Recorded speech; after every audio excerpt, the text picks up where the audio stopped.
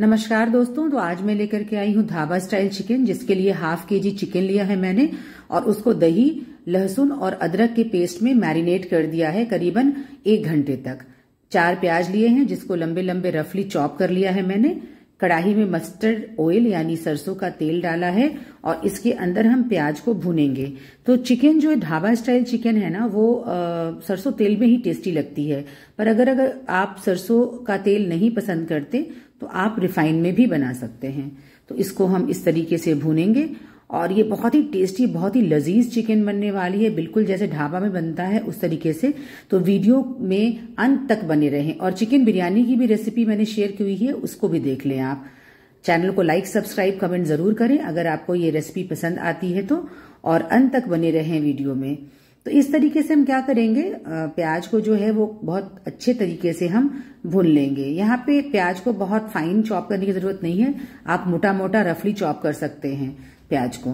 तो ये देखिए, इस तरीके से हम इसको भून रहे हैं। बहुत ही यमी बहुत ही टेस्टी लगने वाली है ये। तो इस स्टेज में देखिए, अब हमारी जो प्याज है ना, वो इस स्टेज में आ गई है भूनते भूनते आप देख सकते हैं, मैं आपको करीब से दिखा रही हूँ इसे।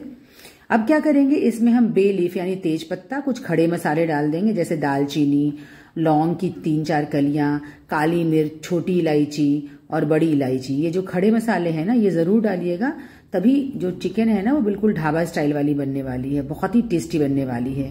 तो इन सभी खड़े मसाले को हम डाल देंगे, इस प्याज के अंदर और इसको करीबन एक से दो मिनट तक अच्छे से भून लेंगे। ये देखिए, इस तरीके से। बस और क्या? बहुत ही फटाफट बनती है। ये चिकन बिल्कुल भी टाइम नहीं लगता बनाने में। मतलब आप ये मान लीजिए कि हाफ़ एन आवर में ये चिकन बनकर तैयार हो जाएगी। ध्यान रखें कि फ्लेम को हम स्लो टू मीडियम रखेंगे। तो अब हम हमारी जो चिकन थी ना, वो मैरिनेट हो गई थी। एक घंटे तक मैंने रखा था दही और लहसुन अदरक। थोड़ा सा लहसुन अदरक डाला था, ज़्यादा नहीं डाला था। तो मैरिनेट हो गई थी। अब हम इसको इसके अंदर डाल देंगे। ये देखिए। और बस इसको भूनेंगे अच्छे तरीके से। नमक डाल दीजिए स्वाद के अनुसार। स्वादानुसार नमक डाल दें आप इसके अंदर। और ये थोड़ा सा रेड चिली पाउडर मैं डाल रही हूँ। और ये कूटी हुई लाल मिर्च है जो कि मेरे घर की कूटी हुई है। अगर आपके पास घर की कूटी हुई नहीं है तो आप बाज़ार वाली लाल मिर्च पाउडर डाल सकते हैं। फिर हम डालेंगे हल्दी पाउडर बहुत ही अच्छा कलर भी आने वाला है इससे और बहुत ही झटपट बनके तैयार होने वाली है। आप इसको जो है वो रोटी के साथ खा सकते हो, नान के साथ खा सकते हो। अब मैंने कश्मीरी लाल मिर्च पाउडर डाला है, इससे कलर इसका बहुत अच्छा आने वाला है। तो अब हम डालेंगे इसमें धनिया पाउडर, जीरा पाउडर, क्यूमिन पाउडर।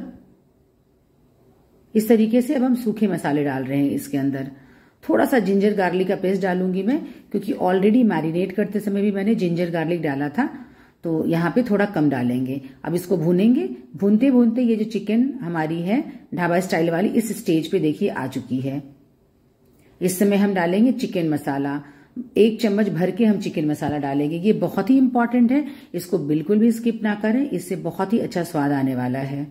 तो अब हम डाल देंगे चिकन मसाला और चिकन मसाला डालने के बाद भी हम इसको बहुत अच्छे तरीके से स्लो टू मीडियम फ्लेम पर पकाएँगे।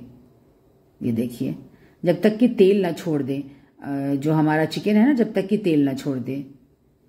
और फ्रेंड्स अगर आपने अभी तक लाइक सब्सक्राइब नहीं किया तो फटाफट लाइक और सब्सक्राइब कर ले मेरे चैनल को।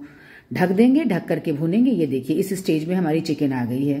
तो अगर आप इसी स्टेज पे खाना चाहते हैं तो भी आप खा सकते हो, लेकिन मैं इसमें थोड़ा सा पानी डालूँगी। थोड़ा सा पानी मतलब आप ये मान लीजिए कि हाफ़ कप के आसपास मैंने इसके अंदर पानी डाला है। ऑलमोस्ट चिकन डन है बिल्कुल। तो बस और क्या। तो हाफ़ कप के आसपास इसमें पानी डाल दिया है और इसको हम फिर से थोड़ा सा पका लेंगे। थोड़ा सा गरम मसाला पाउडर इसके अंदर हम डालेंगे। गरम मसाला पाउडर ज़रूर डालिएगा, इससे स्वाद बहुत अच्छा आता है। बस ध्यान रहे, गरम मसाला पाउडर बिल्कुल लास्ट में डालेंगे आप। इसको फिर से ढक देंगे, करीबन चार से पाँच मिनट तक, और बिल्कुल गर्मा गर्म जो है, वो बिल्कुल तैयार है चिकन। देखिए, बिल्कुल बहुत ही बढ़िया चिकन तैयार है, ढाबा स्टाइल वाली। है ना बढ़िया? तो बस